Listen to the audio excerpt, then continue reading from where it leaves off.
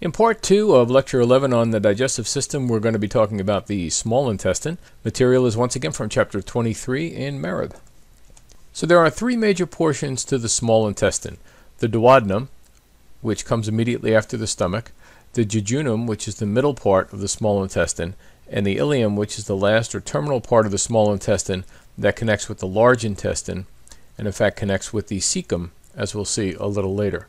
The duodenum is what's called the mixing bowl. What this does actually is mix the chyme from the stomach with buffers to neutralize the acid in the chyme, and also mix with enzymes that come from the pancreas, as well as bile that comes from the gallbladder and the liver. So there's a lot of things that get mixed together inside the duodenum, and so for this reason we refer to this as the mixing bowl. So this is the first segment that begins right here after the pylorus of the stomach and continues to about right here. It's about uh, 12 inches or so long. The second segment of the small intestine is called the jejunum, and this is really the business end of the small intestine in terms of completing digestion and then absorbing the nutrients that are digested. This is the longest segment of the small intestine, and it continues right down to someplace around over here. You can't really see exactly where it is, but it continues from where the duodenum ends until the ileum begins. And the last segment of the small intestine is the ileum. So in this terminal segment of the small intestine, one of the important things that happens is vitamin B12 is absorbed. However, remember we said that in the stomach, vitamin B12 has to bind with intrinsic factor from the parietal cells, or it does not get absorbed in the small intestine. So vitamin B12 absorption in the ileum is dependent upon the binding with intrinsic factor. Now the main functions overall of the small intestine are chemical digestion, as you see here, and absorption of nutrients. About 90% of all nutrients that are present in the chyme that comes from the stomach get absorbed from the small intestine. So it's very highly efficient at absorbing. Now there are some things that we looked at before when we looked at the overall anatomy of the digestive system. One of those was mesentery. If you remember, we talked about a mesentery proper, and you see the mesentery here, all this yellow material in here, this fatty material with blood vessels, nerves, lymphatics, this is the mesentery that surrounds the entire small intestine. The small intestine and the large intestine together are normally referred to as the bowel. Now, what about the blood supply and drainage of the small intestine?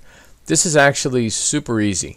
The main vessel that supplies the small intestine is the superior mesenteric artery. So the superior mesenteric artery is a branch of the abdominal aorta and the entire small intestine is drained by the superior mesenteric vein. Easy to remember, right? Just one vessel supplying, one vessel leaving, and they both have the same name. Remember that the veins from all abdominal organs enter into the hepatic portal vein, which we see here, and the blood from the small intestines is then going to go into the liver to be processed and eventually make it into the inferior vena cava. Now let's talk a little bit about the structure of the small intestine. You might remember this from when we did an overview of the digestive system and we took a look at some structural modifications of the alimentary canal. Now, the small intestine has the same layers that we talked about earlier, and you'll notice them here. We have a mucosa, which is in here. We have a submucosa. There's a muscularis externa, and finally there's a serosa on the outside. Now remember, the muscular layer consists of two separate layers of muscle. There's a circular and a longitudinal layer of muscle here. Unlike the stomach, we do not have an oblique layer in this. There are only two layers of muscle in the muscularis externa of the small intestine. Now, as you can see, the small intestine is thrown into these folds, which are known as plicae circulares. Now, these are permanent folds of mucosa that increase the surface area for absorption. These don't flatten out like the rugae of the stomach do. Another thing they do is they more or less act like speed bumps. So as the food moves through here, it's kind of stopped a little bit and the contact with the wall is prolonged. So the material in here has more time to get digested and get absorbed. Now let's take a close-up of this. You'll notice this small square up here. We're going to blow this section up. You'll notice first of all that these major folds that we have here, this for example, sticking in like this and this and this, these are the plicae circulares. So the plicae circulares are the big folds in the small intestine. Now, on top of the plicae circulares, we have villi. These are finger-like projections that project from the plicae circulares. And as we'll see in the next slide, we actually have more modifications on the villi themselves. Remember the microvilli, and we'll see those in the next slide. This type of structure with the plicae circulares, the villi, the microvilli, this is especially prominent in the duodenum and the upper jejunum. These are the areas of the small intestine where the bulk of digestion and absorption takes place. Now, in the submucosa of the duodenum, we have mucus secreting glands that are known as Brunner's glands that protect the small intestine. If you remember, the duodenum is receiving acidic chyme from the stomach, and although we have buffers that are secreted by the bile ducts, by the pancreatic ducts, it may take some time to neutralize the acid that's in the chyme. So there is a layer of mucus in the duodenum, however, it's not nearly as thick as the layer of mucus that we saw in the stomach to protect it from acids and digestion. Now let's take a close-up of the wall of the intestine. So all these little finger-like projections here are villi. We're looking at a section through a villus here, and you'll notice that we have cells that line the villus. All of these cells that you see that line the villus and that are the epithelial lining of the small intestine are known as enterocytes. So the main intestinal cells are known as enterocytes. Scattered in between there, we have mucus cells or goblet cells. So this is where some of the mucus comes from.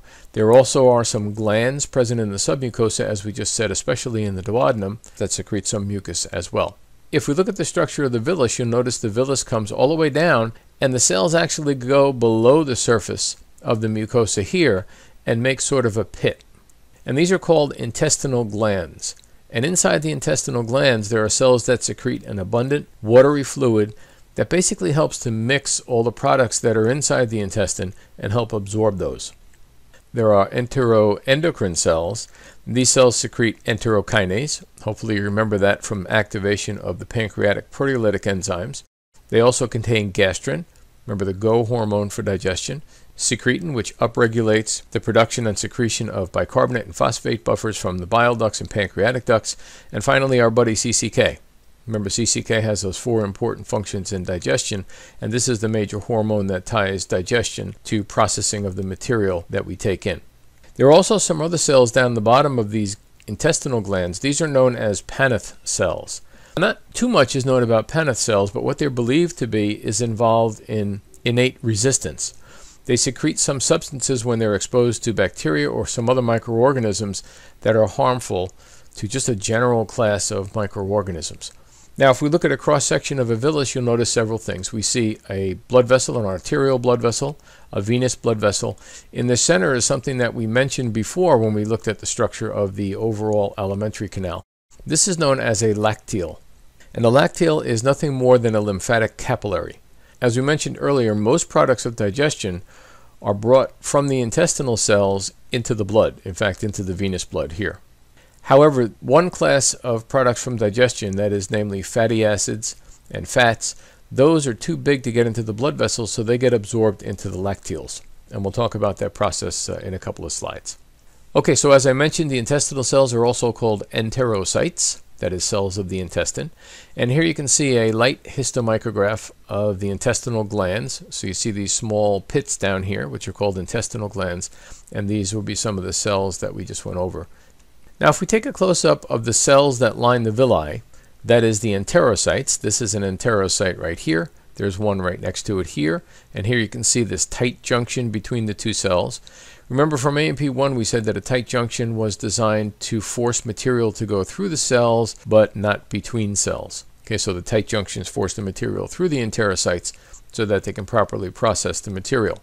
Now, if you look on the surface of each enterocyte, you'll see microvilli. And as we said before, microvilli increase the surface area for absorption. That is, they increase the amount of contact that the cells have between the material that's in the intestine and the cells themselves. On the surface of this, you'll notice all this kind of fuzzy stuff. These are all digestive enzymes and sugars, glycoproteins. So these are actually coming directly in contact with the food material that's moving past this. And these enzymes we'll look at in a second continue the breakdown that was started in the prior portions of the intestine and the stomach. So the microvilli, if you remember from A&P1, form something that's called a brush border because of the way this looks under a light microscope. It looks sort of like the edge of a paintbrush and the digestive enzymes are embedded in the membrane of the microvilli, as we just pointed out. Now, the main function of the plicae circulares, the villi, and the microvilli is to increase the surface area for absorption, and this is really a tremendous increase. It goes from about 4 square feet to about 2,200 square feet. Give you an example, 4 square feet is 2 feet on a side. On the other hand, 2,200 square feet would be something that was about 47 feet on each side. So that's a tremendous increase going from something that's only 2 feet on a side going something that's 46 feet or 47 feet on a side. You know, we're talking about a trailer truck being a 40 footer. So you get some idea about how much the surface area is increased by just having these modifications inside the small intestine. This is really a tremendous increase in the surface area. Now, what about some of the secretions of the small intestine?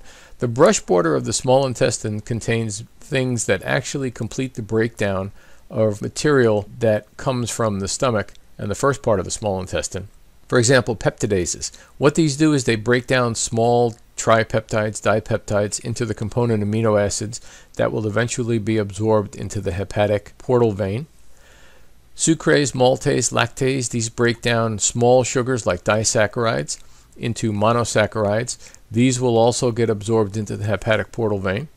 Lipase breaks down fats into fatty acids and glycerol. Where does this get absorbed? Right. Remember, these get absorbed into the lacteals. So these take a different route. They don't go into the hepatic portal vein directly. There's enterokinase, which, if you remember, converts trypsinogen into trypsin. And trypsin is the thing that activates the rest of the pancreatic proteolytic enzymes. We also have some gastrin and somatostatin secreted. We talked about those earlier. And we have our buddy CCK that's secreted from the wall of the small intestine. These two things here, remember, are hormones. So these are going into the blood. And we talked about the functions of CCK earlier. One more hormone that we have released by the intestinal wall is secretin. Very important because this causes a bicarbonate and phosphate ion rich secretion from the ducts of the pancreas and from the ducts of the gallbladder. So very important once again in neutralizing the chyme that comes into the small intestine. Now what about the movements of the small intestine? Well, movements in local segments can occur without stimulation by the parasympathetic nervous system. Throughout the digestive system, as we said before, we have basically pace setter cells that automatically contract and then relax. The same is true of the segments of the small intestine. However, parasympathetic stimulation can accelerate segmentation and peristalsis. Now, peristalsis, as we said, are pushing movements that are moving food aborally. Segmentation are these ring-like contractions that aid in mixing. If too much material goes into the small intestine too fast, and it doesn't actually have a chance to absorb fluid quickly enough. And all that fluid then eventually goes into the large intestine, and this is something that's known as peristaltic rush, and this results in diarrhea. Now, there are some long distance reflexes that we want to talk about. One is known as the gastroenteric reflex, the other is known as the gastroileal reflex. I want you to take a look at these names and realize that you already know whether these are going to be stimulatory or inhibitory. Remember, we talked earlier when we talked about the intestinal phase of stomach control about something called the enterogastric reflex. And we said that if the name indicates a direction opposite the flow of food, it was an inhibitory reflex. If the name is indicating flow in the same direction as the food, it's a stimulatory. Notice that this is going from stomach to intestine. Same direction as the food, therefore this is a stimulatory reflex. Same is true of the one down here, which is called the gastroileal.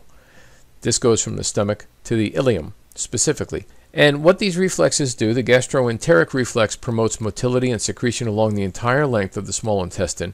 The gastroileal reflex is important because it relaxes something that's called an ileocecal sphincter. Right at the junction of the ileum and the first part of the large intestine, which is the cecum, there's a ring of smooth muscle called the ileocecal sphincter, which we'll look at later. And the gastroileal reflex is designed to relax that to allow material to go from the small intestine into the large intestine.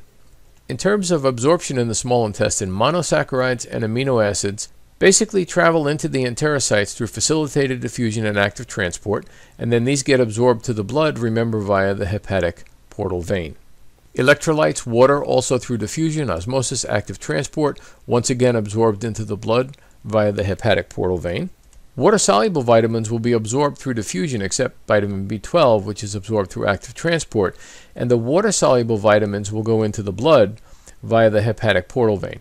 However, the fat-soluble vitamins like A, D, E, and K are really part and parcel of the fats that are going to be absorbed. And remember, these are going into the lacteals, the lymphatic capillaries in the villi of the small intestine. And vitamin K, as we said, since it's a fat soluble vitamin, will also be absorbed with the other fats.